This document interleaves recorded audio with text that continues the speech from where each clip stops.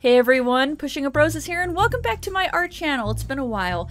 Today I have a tropical cells ribbon abstract painting. For this technique, I'm going to be using the Artist Loft pre-mixed paints. Um, I find those paints for this technique and for swiping techniques really, really nice.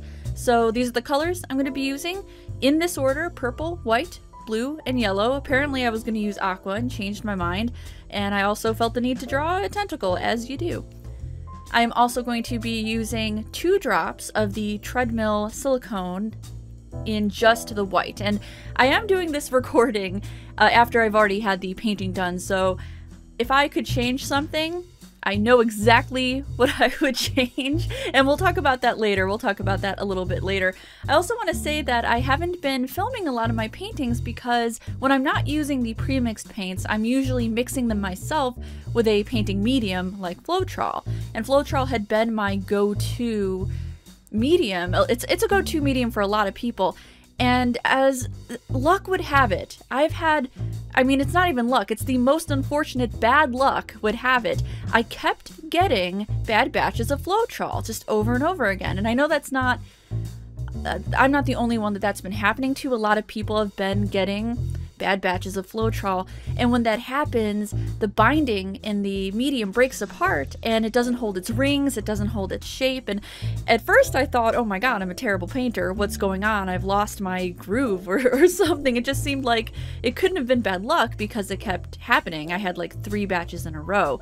So I had stopped filming my paintings because I was pumping out rubbish, not knowing that it was in fact the Floetrol. Uh, so for this one, I, I did get, I did find some other mediums that I've been using, so I will start filming them again. For this one, I'm, I am using the pre-mixed paints. Oh my god, look at that flip cup, you guys! It is so beautiful! So when I do the flip and drag with the pre-mixed, I always take the bottom of what's in the cup and I always do ribbons. I don't know why I'm doing cur curly cues there it turned out to be a mistake. I thought it was gonna look like so cool. I had saw another artist do curly cues and I'm like, ooh, I want those. I want those winding curly thingies. And uh, without practicing beforehand, I just kind of went for it. And yeah, you can also, if you run out of the paint at the bottom of your cup, you can always just mix more. Uh, so I am, I, I did mix just a little bit more, and now I will tilt it for you guys. Enjoy!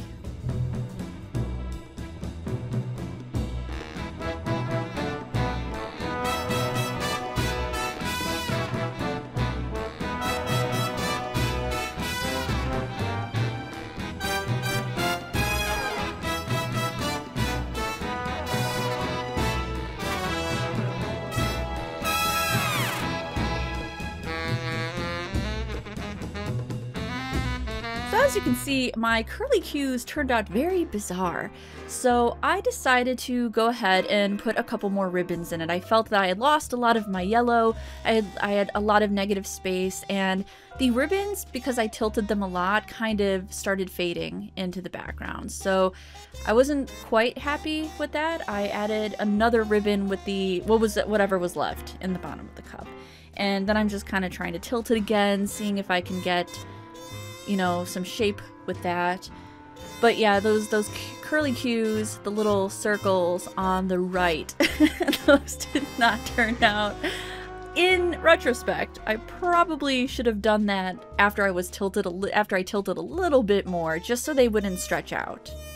So at this point, I'm thinking I don't have enough yellow. So what I did was I layered I layered white, purple, yellow just a little bit at the bottom of the cup. And there there I go again with the curly things. I don't I don't know why.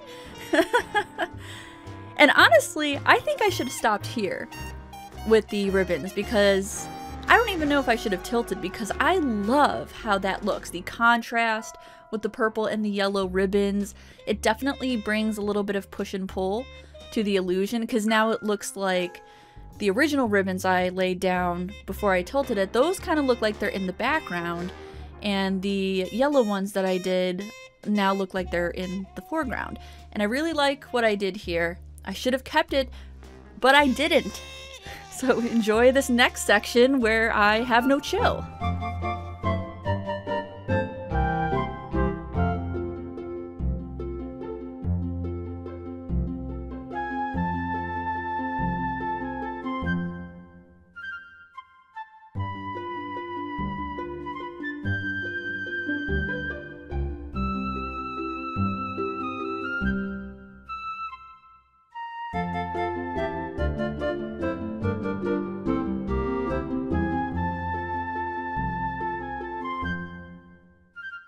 So yeah, I am now adding cells with my heat gun, and I'm trying to get some of those negative spaces.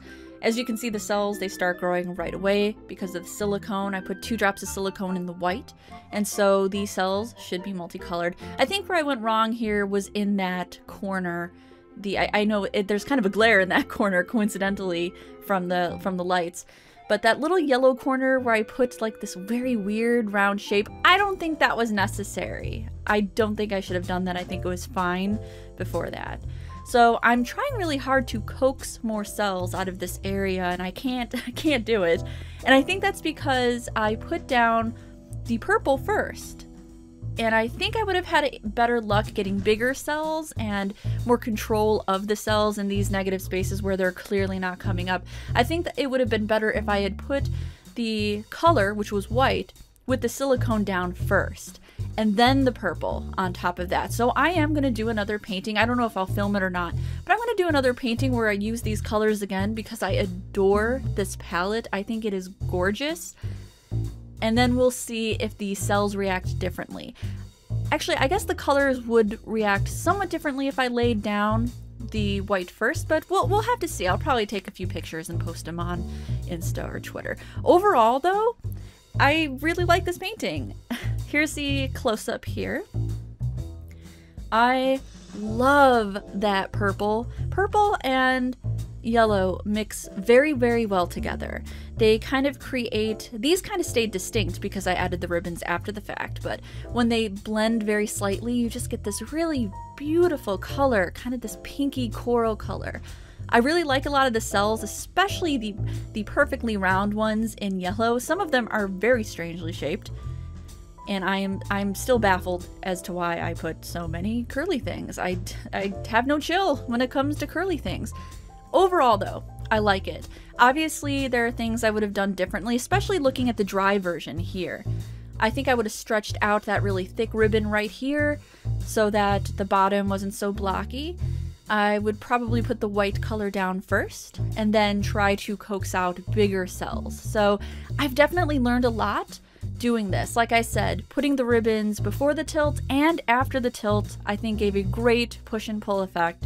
Overall, I'm really happy with the painting. I just want to try again with this technique and see if I can do it even better and get closer to my goal. And that's what it's all about. You have to just keep trying, fail in some parts, succeed in other parts, and try again. Thank you guys so much for watching. I will see you in the next one. Bye bye.